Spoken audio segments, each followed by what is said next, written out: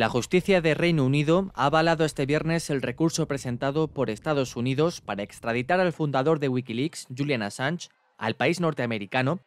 donde está acusado de espionaje y podría enfrentarse a una pena de hasta 175 años de prisión.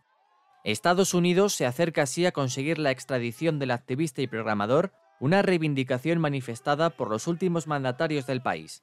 el Tribunal de Apelaciones ha reactivado el proceso al revertir el veredicto de un tribunal de primera instancia que consideró que había motivos de salud y un alto riesgo de suicidio para el acusado en caso de que el proceso saliera adelante. Ahora los jueces han considerado que este peligro es limitado, dadas las garantías presentadas por el propio gobierno estadounidense, según ha informado la cadena de televisión británica BBC. La decisión supone un duro golpe para Julian Assange, si bien su equipo legal puede recurrir el fallo.